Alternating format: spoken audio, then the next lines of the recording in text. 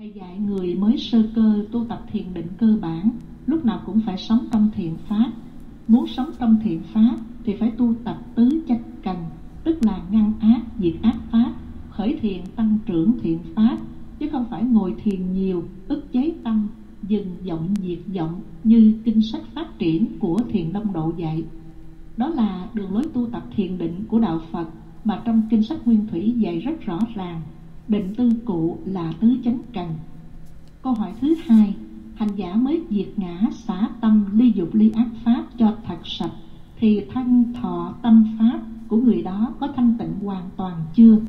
Hành giả diệt ngã xả tâm ly dục ly ác pháp cho thật sạch, thì thân thọ tâm pháp của người đó mới được thanh tịnh, chớ chưa hoàn toàn, chỉ mới nhập được bất động tâm, làm chủ được tâm tâm mới được thanh thản, yên tĩnh và vô sự.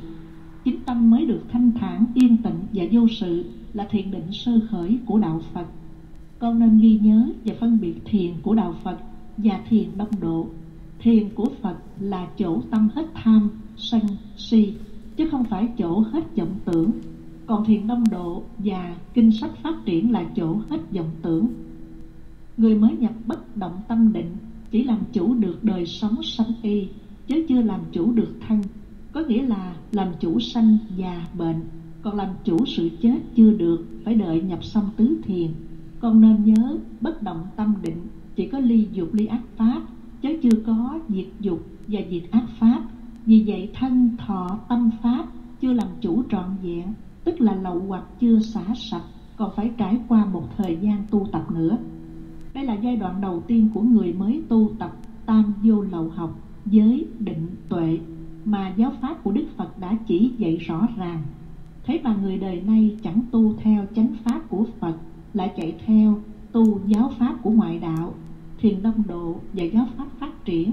Cho nên tu mãi mà chẳng làm chủ sanh và bệnh chết, chấm dứt sanh tử luân hồi. Họ chỉ sống trong ảo tưởng, Phật tánh, tánh không, tánh biết, tánh nghe, tánh thấy và những trạng thái xúc tưởng hỷ lạc Tâm ly dục ly ác được sự thanh tịnh giới luật, tức là giới luật nghiêm tịnh, không còn vi phạm một lỗi nhỏ nhặt nào. Còn muốn thân thọ tâm pháp thanh tịnh thì phải tu tập tứ niệm xứ. Khi tu tập tứ niệm xứ sung mãn thì tứ thần túc xuất hiện.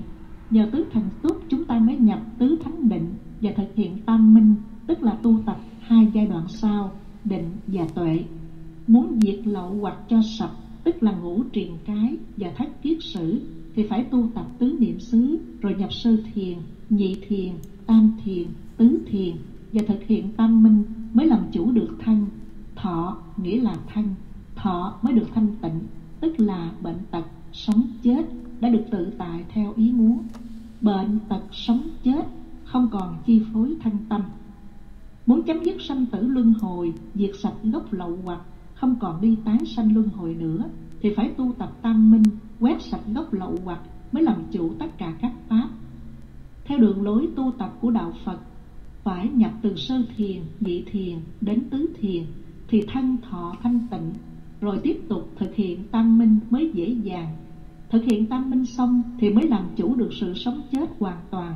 Còn diệt ngã xả tâm, ly dục ly ác pháp thì hành giả được tâm bất động giải thoát diệt ngã xả tâm, ly dục ly ác pháp, chỉ là mới nhập được tâm bất động, định.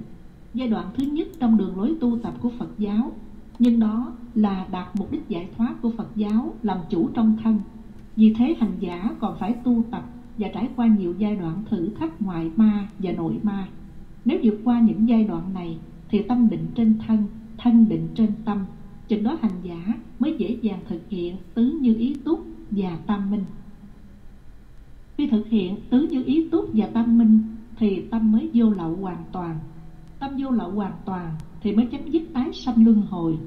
Tu theo phật giáo đến đây mới thành tựu viên mãn, chỉ còn một kiếp này nữa mà thôi.